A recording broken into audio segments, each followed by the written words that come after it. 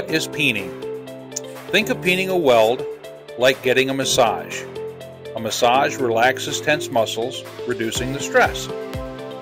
Peening is physically deforming a weld in a way to reduce the stress caused by welding. How is peening done? Peening can be done in a variety of ways and can be dependent on a couple of things like size of the weld or accessibility.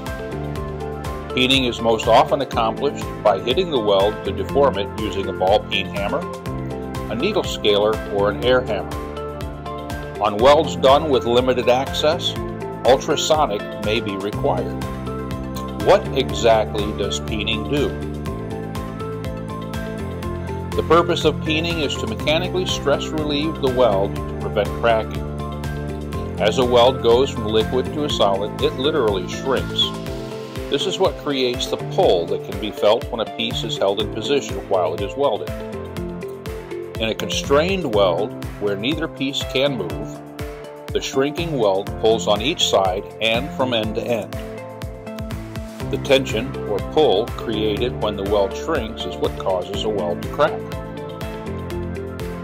Peening performed at the right time while the weld still has some red color in it, as you can see in the video here, can prevent the shrinkage stress that causes the cracking.